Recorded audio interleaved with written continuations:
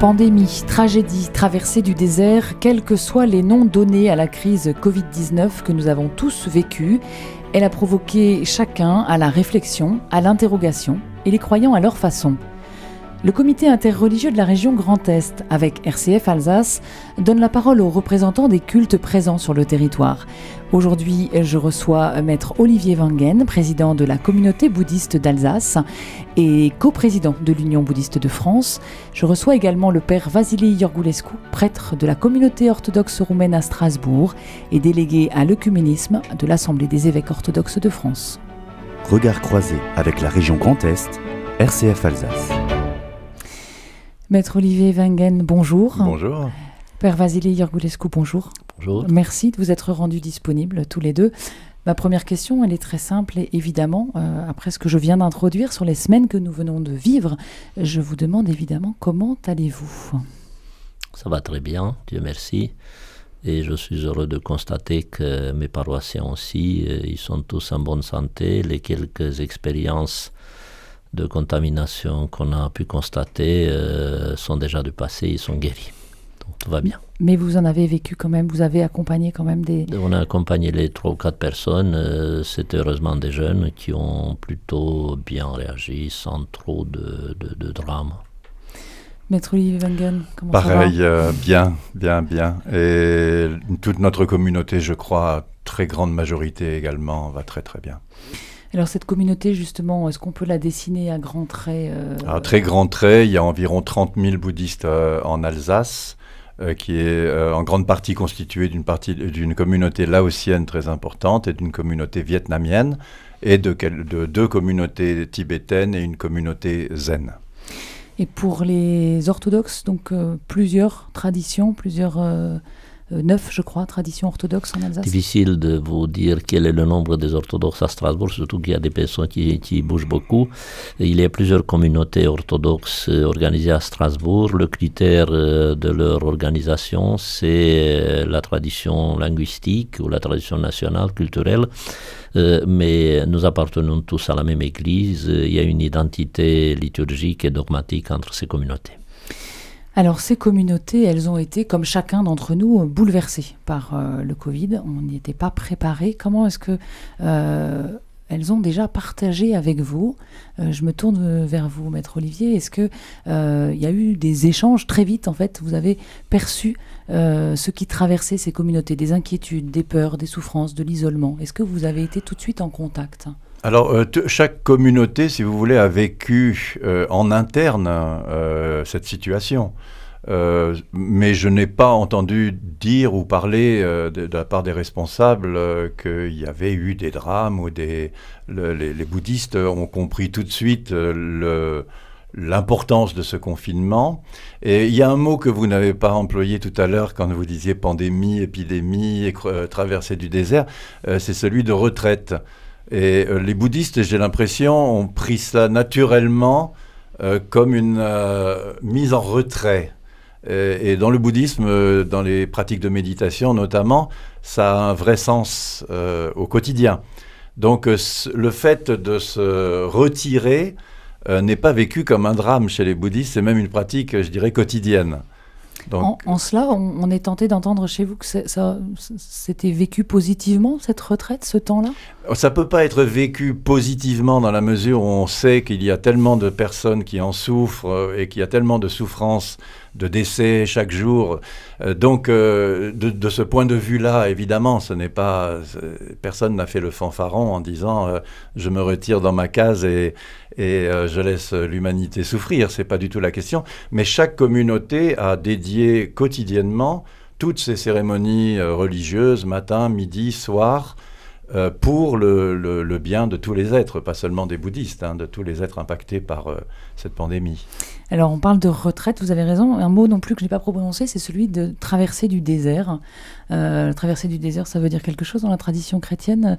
Est-ce que euh, cette traversée ça du veut désert... dire quelque chose du point de vue historique, bien sûr, parce qu'on fait référence à la Bible et à l'Ancien Testament. Mais euh, paradoxal, on avait très peur au début. Et on a constaté que cette peur n'était pas justifiée de tout point de vue. Euh, quand on nous a dit vous serez isolé pendant tant de, jours ou de mois, euh, c'était vraiment, euh, c'était vraiment vécu comme une grande frustration, une grande peur. Et finalement, on s'est rendu compte que euh, c'était l'occasion de réfléchir à notre condition humaine, à notre humilité. Toute la nature continuait à vivre, tous les, petits animaux, sauf l'homme qui restait derrière son rideau à regarder par la fenêtre. Euh, bon.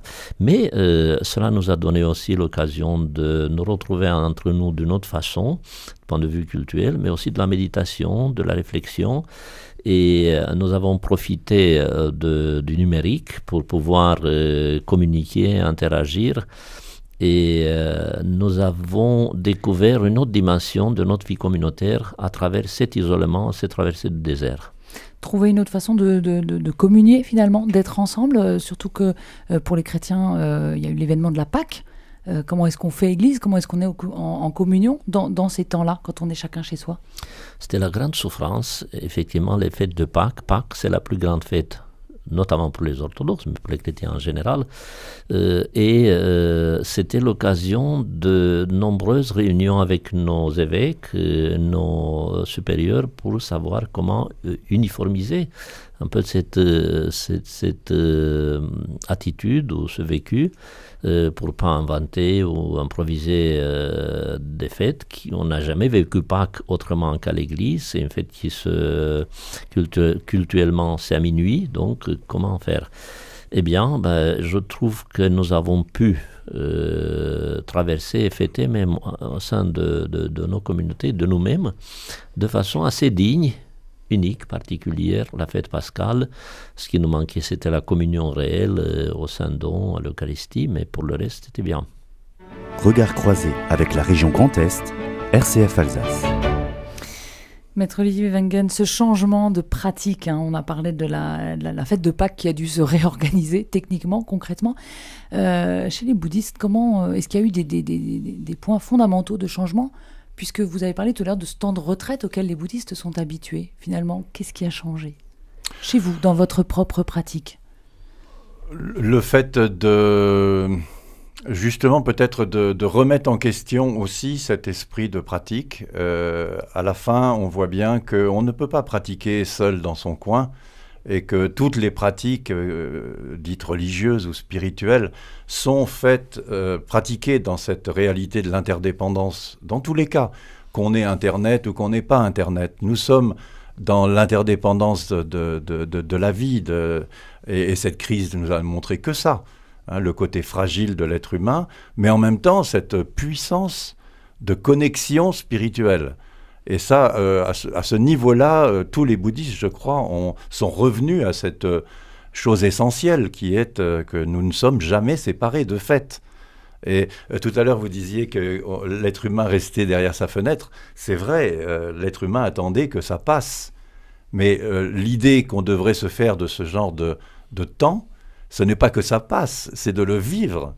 Hein. Euh, pendant ce temps-là, les bouddhistes n'ont pas eu de, de fêtes euh, particulièrement importantes, on va dire, bien qu'il y avait des nouvel an chinois, euh, vietnamiens qui ont dû être évidemment reportés, laotiens aussi. mais ça n'a pas été vécu comme un drame. Hein. Et chaque jour, du coup, est devenu un jour de fête. et c'est ça qui est important à la fin. C'est de faire de cette réalité que chaque jour est unique, chaque jour doit être ce jour de fête. Qu'est-ce que, euh, qu'est-ce que précisément euh, ces temps-là auront euh, révélé dans le message que vous portez déjà pour, pour les, les, croyants de vos communautés? Vous nous parlez de, de cette interconnexion. Est-ce qu'il y a d'autres points finalement qui étaient cachés, qui étaient comme empoussiérés et que ces temps-là auront rénové C'est d'abord le rapport à la modernité euh, la religion est quelque chose qui vit dans une sorte de présent éternel et puis euh, la réalité, la succession des moments euh, dont on est fatalement lié sur la terre sont secondaires. Eh bien, ce ne sont pas secondaires. L'Église et en général la religion doit vivre dans le présent sans oublier le spirituel, l'éternel, et on a pu faire pendant cette période une juste répartition de notre attention envers les deux, c'est-à-dire la redécouverte du numérique comme instrument de, communion entre les gens, euh, malgré les distances, malgré le confinement. Euh, le fait qu'on peut vivre notre, comme Olivier le disait tout à l'heure, notre communion entre nous d'une autre façon, peut-être beaucoup plus forte. Euh, dans l'absence de l'être de, du fidèle, du frère, euh, à travers un écran, à travers le téléphone. Le dialogue qui remplace la confession, qui est pour les orthodoxes par exemple un moment très important parce que c'est la confession individuelle, c'est là où chaque fidèle euh, remet devant le Seigneur euh, ses craintes, ses, ses, problèmes de conscience. Et là, il eh n'a pas pu avoir le. Il n'a pas pu le faire, mais le dialogue a remplacé la, la, confession en attendant le moment de se retrouver eh ben, on a découvert pas mal de dimensions qu'on ne connaissait pas avant.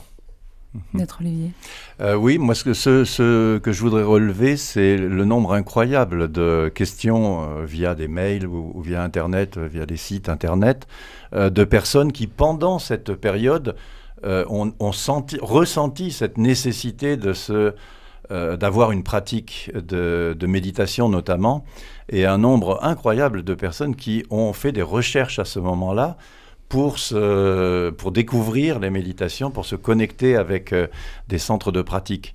Et ce que, ce que j'ai ressenti, c'est que vraiment, euh, n'attendons pas qu'il y ait ce genre de, de, périodes difficiles ou de périodes euh, extraordinaires, disons, qui nous déstabilisent complètement. N'attendons pas ces moments-là pour mettre au cœur de notre quotidien des pratiques qui nous permettent de, vivre, c'est pas d'affronter, mais de vivre ces moments-là euh, avec une certaine stabilité émotionnelle déjà et spirituelle intérieure. Voilà. C'est très important. et qu'en euh, tant que serviteur au ministre du culte, on est beaucoup plus occupé pendant le confinement qu'on ne l'était ah avant. Ah oui. Parce qu'on n'avait pas un moment de, de, répit, il fallait répondre euh, aux mails, il fallait organiser les rencontres, euh, euh, trouver le rôle de chacun, parce qu'il y a le dialogue qui existe dans la liturgie orthodoxe entre le prêtre et le, peuple, devait continuer, devait trouver de nouvelles moyens de s'exprimer. Ben, on, était beaucoup plus occupés pendant qu'après. Vous avez vécu ça également? Ah, Oui, oui, oui. C'était une retraite extrêmement active et et euh, partagé hein, avec beaucoup de monde. alors justement, j'ai envie de finir là-dessus. Euh, individuellement, personnellement, qu'est-ce qu'aura laissé comme trace euh, ce, temps de, pandémie, mais aussi ce moment où l'on sort là, en ce moment, ce moment de, retour, je n'ose pas dire à la normale. Oui, malheureusement, c'est le, le, mot qui me fait peur. Euh, ce retour à cette euh, forme de normalité ou ce qu'on considère comme étant la normalité. Euh, il semblerait que la région parisienne soit à, 80% au même taux de pollution qu'elle ne l'était avant l'épidémie. Donc les choses reviennent, mais au galop. Hein, ce n'est pas à petits pas, c'est au galop.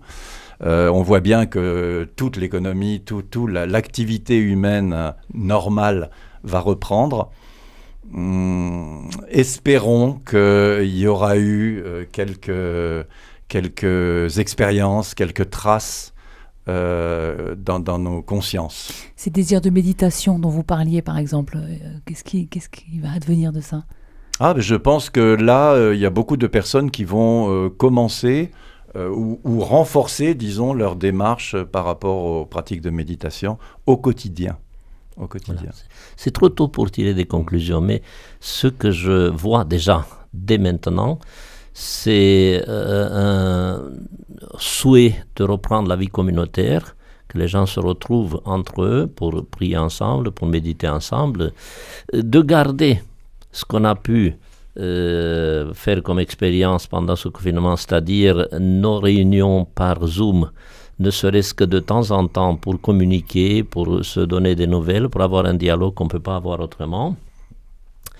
Et ensuite que euh, ça va peut-être changer beaucoup de choses dans le comportement des gens envers le fait religieux. Merci beaucoup, Père Vasily Yorgulescu, et merci, Maître Olivier Wangen, de votre euh, éclairage. C'est la fin de cette édition de Regard croisé, une émission spéciale réalisée avec le comité interreligieux de la région Grand Est et la radio RCF Alsace. Merci encore.